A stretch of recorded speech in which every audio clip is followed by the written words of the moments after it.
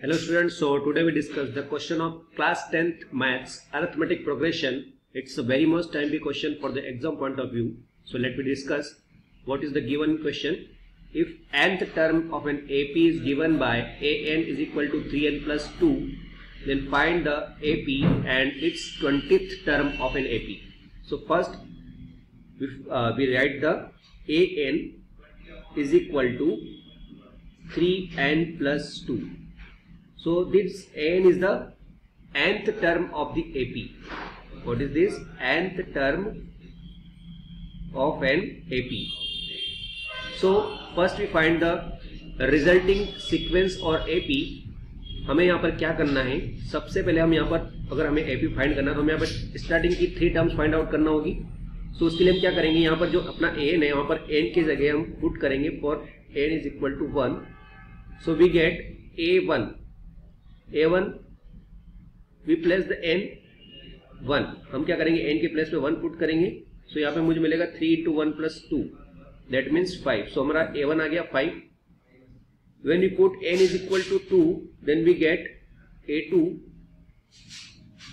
three into two plus two three two six plus two कितना हो गया? Eight then we put n is equal to three we get a three A3 is 3 times 3 plus 2. 3 is 9 plus 2 कितना हो गया 11.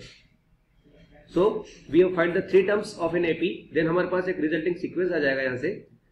So हमारा AP जो है बन जाएगा 5, 8, 11 dash dash dash. ये हमारा बन गया AP.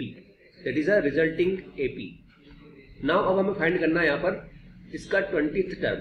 So देखिए हमारा जो nth टर्म का फॉर्मूला होता है a n that is a plus n minus one into d हमें यहाँ पे ट्वेंटी टर्म फाइंड करना मतलब हमें यहाँ पे फाइंड करना एन की जगह क्या रखना पड़ेगा? ट्वेंटी तो यहाँ पे हम रखेंगे a twenty is equal to a plus twenty minus one into d अब हमारा यहाँ पर ए जो है ए क्या होगा? A is a first term what is a a is a first term of an AP first term of an AP. So, A is what? A is a 5. ये हमारा हो गया 5 and D is a common difference that means second term minus first term तो second term हमारी कितनी है? 8 8 minus five so हमारा जो D आएगा, D इज़ 3 D हमारा कितना आ गया? 3 ये तो हमारा हो गया A और D.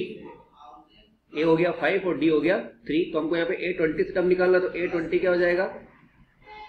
A five plus twenty minus one हो गया नाइनटीन इंटू डी कितना है? थ्री तो हमारा जो ए ट्वेंटी आएगा